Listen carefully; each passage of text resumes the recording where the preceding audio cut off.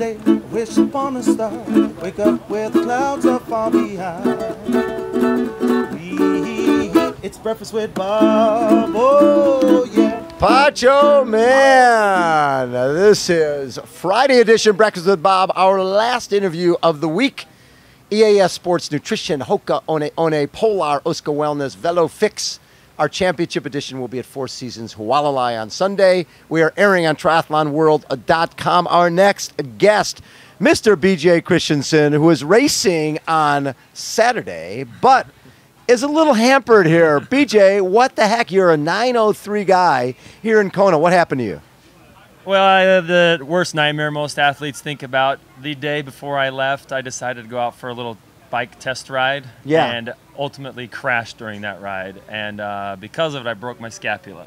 So, So, the uh, type of thing you got run off the road by a car. No, just no. it's, air, it's basically pilot error, My mind was in Hawaii and my body was in Utah.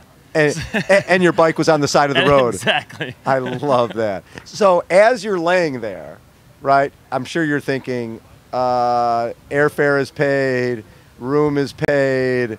Uh, uh, this is your what, ninth time? You- Yeah, ninth time. ninth time.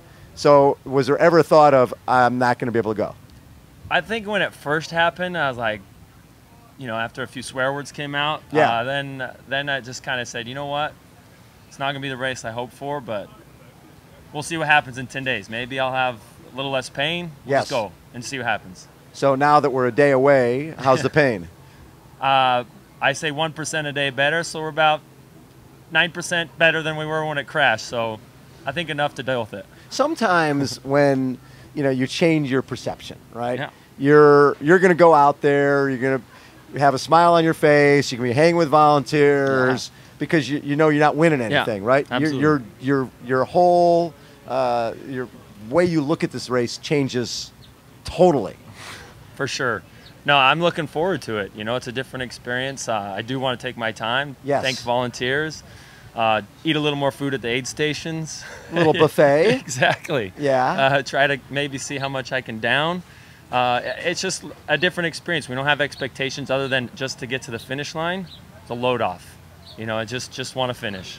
So give me a little background. When when did you get into the sport? Because you you look more power forward than triathlete. yeah. A lot Six, of people, seven. Exactly. So I was actually a long distance runner for the University of Utah, and back then I was six seven and 100 and 170 pounds, but I was That's still big for big yeah, it's a for a distance You runner. were a great wind block running around the Yeah. track. I bet guys Yeah, loved running behind you. You know it. Um, but I was a steeplechase expert, so oh, that was my you were- event. My favorite event. Yeah, so that was my strength. So I loved jumping over things. I was distracted on the track. So triathlon kind of fell into a nice niche when I finished up my eligibility, and it was uh, wearing my hat for my hometown race, Yeah. Spudman Tri, and uh, that got me involved in the sport. And from then, I just fell in love. This is a lot of fun. I don't have to run every day. I can swim. I can bike. It's a lot of fun training. So let's talk steeple. Since uh, we got let's- let's Melissa Hauschildt is a steeplechaser, Yeah. sil- silver at the Commonwealth Games. Um, Jesse Thomas, Jeff- Jesse Thomas is steeple. Jeff Simon's not racing, but one of the top triathletes is a steeple guy.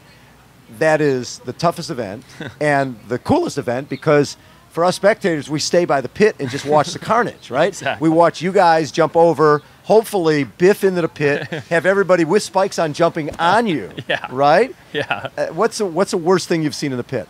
Ah, well, I inflicted one time. I literally landed on a guy's Achilles tendon in the pit. And Wow. I felt like a dick. Uh, it was the worst. I love I that. mean, you landed on He- his Achilles. He, he had a terrible entry. I mean, he, he blew the entry, landed in about two feet of water. He was trudging his way out. I come flying over the top, and my foot went right into his Achilles. And I'm like, sorry, dude. Sorry, dude. Nice knowing you. Keep going. Next time, don't biff. Yeah. yeah. If you don't want to get stepped on, Yeah. don't biff. Now, did you ever biff in there? Uh, you could jump right over the pit. Yeah, I I've had a few close calls. Never never ate it, but I've slipped off a few. Watched a guy's knee go right into a barrier. Oh. He Oh. dropped to the ground. That was a fun day. People forget sometimes that those barriers don't They move. don't move. They're not like They're real not hurdles. hurdles. no, they're not hurdles.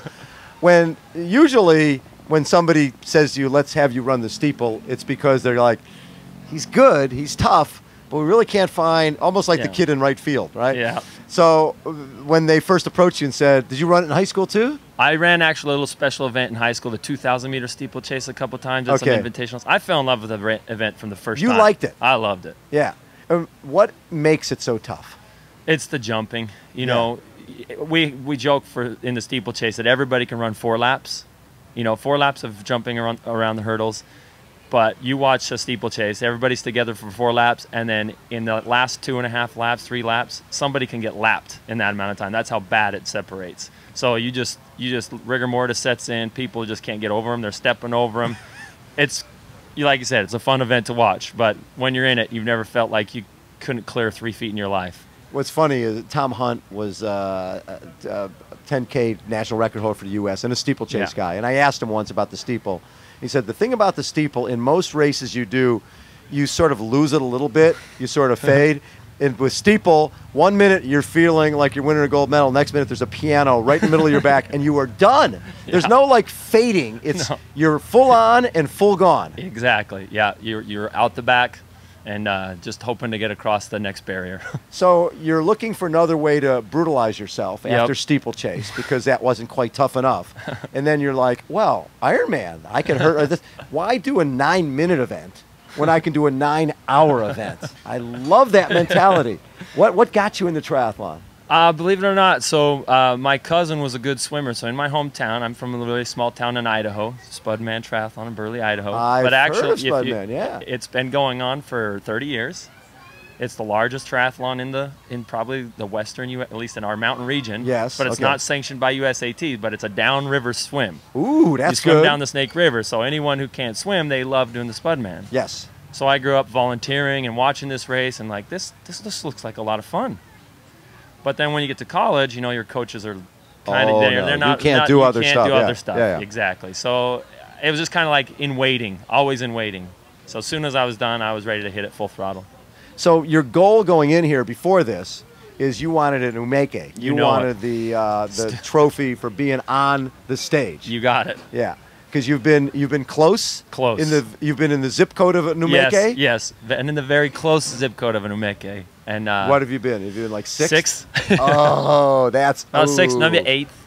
But yeah, I've, I've been in the top ten, and yeah, it's always. Uh, You could almost touch wood. Exactly, Right. You exactly. almost had you almost had the had the umeke, but Yeah. not quite. exactly. And it, it was that the type of thing where you're in fifth place, coming towards the end of the run, and some no, guy goes, I'm, I'm usually gaining on people in the run, but "Okay, not." I, not I've come off the bike in 400th place here. Have you really? yeah.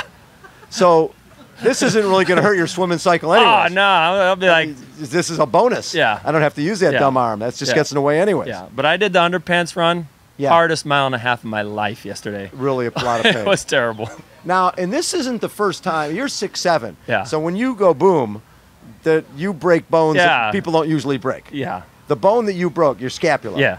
Usually you break that when they see that in autopsies, Exactly. but they don't see that. Usually you don't go No. in. A, a person who It's- is actually still breathing usually Yeah. doesn't break that. exactly. The the X-ray techs are always like, uh, "You're my first broken scapula, and I don't think I'll ever see another one."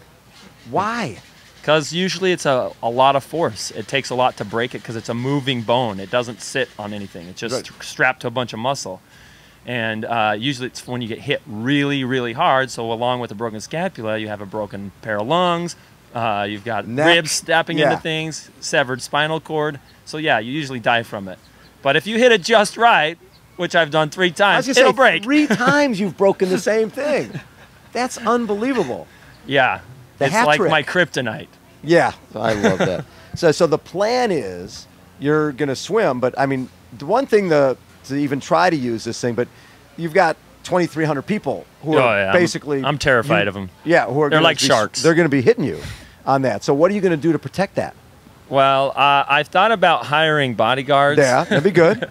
But I'm just gonna probably strap it to my body and swim away away from everybody. Stay weighted aside. Exactly. Just Yeah. try not to get kicked. We talking saran wrap? Yeah, that sounds like a good idea. That'd be good for photos. I would yeah, go with that. I'm just hoping they won't disqualify me. They might find that it gives me an extra pointed uh, uh, hydrodynamics. They'll find that I'm swimming too fast with saran wrap around me. You know, that's one of those. I think you'd be have the first saran wrap penalty. I think I, I don't think there'll be a problem with that. Feel free to put me in the penalty box for Are four gonna, minutes. Are you going to be able to get into arrow? What are you going to do? Yeah? I can get into arrow as long as I'm just, you know, I put most of my weight on my right arm, Yes. and you know, I'll just be cautious. So just lay the left exactly, one down. lay the so left you won't arm. wear a sling for that. No, it's more comfortable that way. I've tried Okay. riding with the sling, and it, it just hurts Yeah. holding it up that long. So I'll just wear the sling on the run. But you will definitely now. Have you run with the sling already? Oh, you did Underpants. underpants run. Yeah. Okay, so you Yeah. did 50 feet in it. Yeah, You're no, good. yeah, no, we're good to go. It's only a marathon. exactly. Was there a point when you're laying on the ground, or even the next day, where you had a little pity party and thought, you know, why me? Yeah, I think everybody has to have that moment, you know, especially when you've prepared for so long. I qualified in Tahoe, so over a year ago. I've never had that long of a preparation period. Yeah. And I was really starting to feel good. Like my fin was com- coming along. I, I really had a good feeling about the race. Mhm. And yeah, when, you, when it just kind of gets taken away from you, realize I'm hurt and I'm hurt so bad that that's not going to happen. I think you, you're allowed to have a little bit of a grief period, but then at the same time, it's like you still have two good arms. You have one good arm. You're not dead. You Yeah. know, Yeah. people have a lot worse in this world. Right. You know, get over it. You're still going to Hawaii tomorrow, even if you don't race. So and let's just try to make uh, some lemonade out of this. What's the What's your fastest marathon on an Ironman course? I've gone 256 Wow. in Lake Placid, 255 in Coeur d'Alene. So you Uh, are a runner. I got a few wheels in here. Yes, it's you been do. a while. Yeah.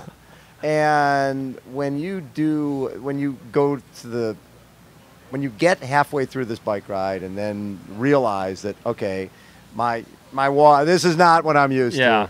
to. It, you've already programmed I've- yourself yeah, to go you just have forget to not the watch. exactly. You just kind of have to say this is this is just let's just enjoy the day, enjoy the experience, Yes. and take each mile for what it's worth. You know, I'm going to go aid station to aid station because I don't think I can stop and drink.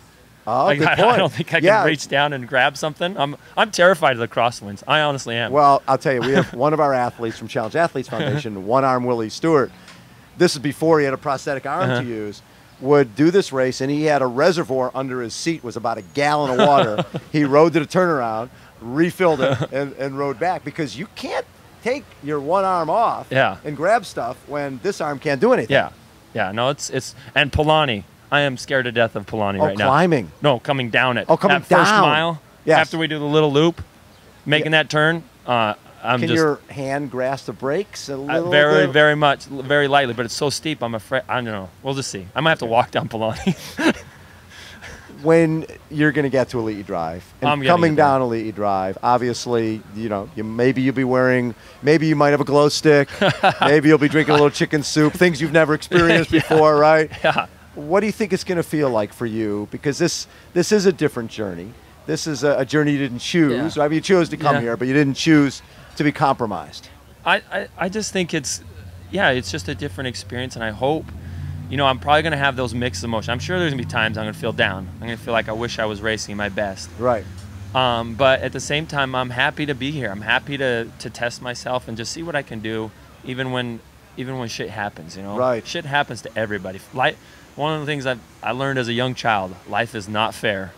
Th- bad things happen to people that are great people, but it's just how you handle. it. How's your attitude? Just and I, and I hope that my experience is a positive one tomorrow. So if you weren't six seven and you're falling from pretty high, it, I, I'm guessing that has something to do with why you've broken the Yeah. scapula three times. It's got to be. I think just I carry a lot of mass, and when you fall from that high, it's like I think the Richter scale moves a little bit. So bit. you're six. are you six seven? What What do you weigh now? Ah, 195. That's still a skinny guy. Yeah, I'm a six skinny seven, guy. 195. Had you ever been enticed to play basketball back in the day? I'm sure Well, the coaches were drooling. Yeah, they, they wanted me to play, but you got to remember, I, I was a rail. When I graduated high school, I was 6'6", 165 pounds. I mean, my singlet would fall off my shoulder. I mean, a wind would pick me up and carry me around. It, it, I, I wasn't that attractive on the basketball floor. So, And I grew up in a very small town in Idaho. Um, there weren't a lot of uh, college scouts coming through for ball players, let, me, let me tell you. But the beauty about running is you run a fast time, everybody knows. Exactly. Easy to recruit. It's Yep. like, "Oh, what did he run? Okay, we can go talk to this It's kid. finite. Yeah. We know we can take a look at that, his mile split, and that's Uh-huh. that's all that matters. Yeah. BJ, thanks so much for taking Bob. time. Really, really an honor to have you on. and have have a great time tomorrow, man. Oh, I hope to. It's a catered workout. It is. Right? It it's is. just a I'm going to get my money's day. worth. get your See? Usually when you go 903, you don't get your money's worth. If you do like 12 hours or something, you got a lot more value for exactly. your money. Exactly. Poncho Man, take us out. Someday, wish upon a star, wake up with clouds up on behind. Breakfast with Bob. Oh, yeah. Aloha. Friday. That is a wrap from Huggo's. Thank you, everyone. Yes. Yeah, buddy.